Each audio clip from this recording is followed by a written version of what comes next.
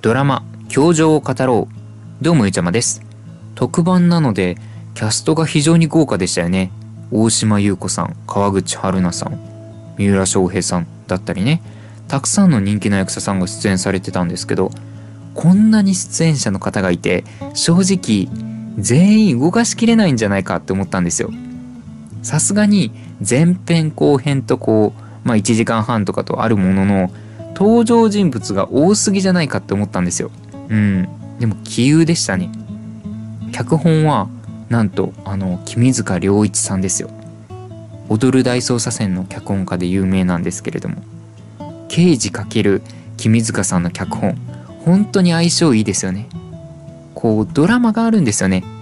1エピソード1エピソード。ただのトラブルで終わらせないというか。教場は警察としてのわきまえだけじゃなくて人としての正義みたいな部分も学びになりましたよね。人間ってむごいことをしたり残酷なこともするんですけど人を大切にしたり思いやったりできる。風間教官の教え方って、まあ、厳しいんですけど愛のある教官でしたね。あの義眼がかっこよかったです。あれどうやってやってるんですかね。うん。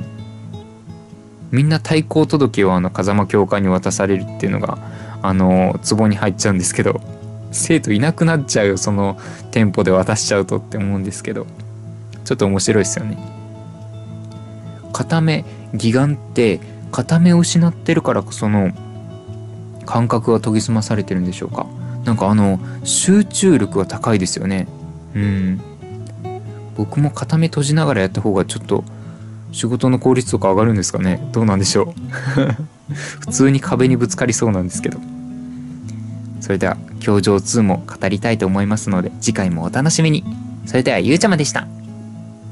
いやーキムタクは何をやってもかっこいいんだよね。最後まで聞いてくれてサンキュー。